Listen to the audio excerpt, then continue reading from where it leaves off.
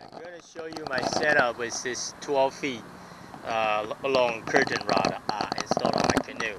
Basically what I did was very easy. And as you can see, that's the 6 feet tall mark. And I have a screws. I just drill a hole, put a screw through it so I can lock this in.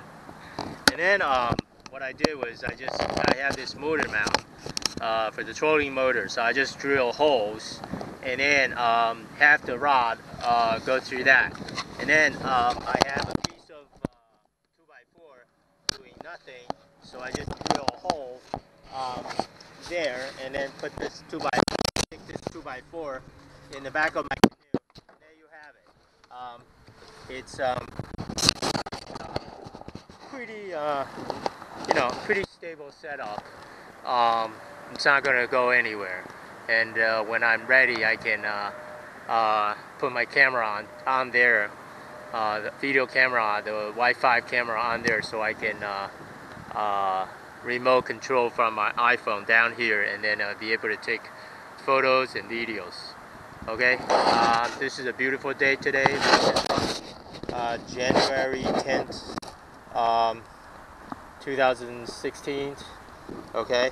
Uh, temperature is uh, 60 degrees uh, right now. Let me see. 58 degrees, 60, 62 degrees actually.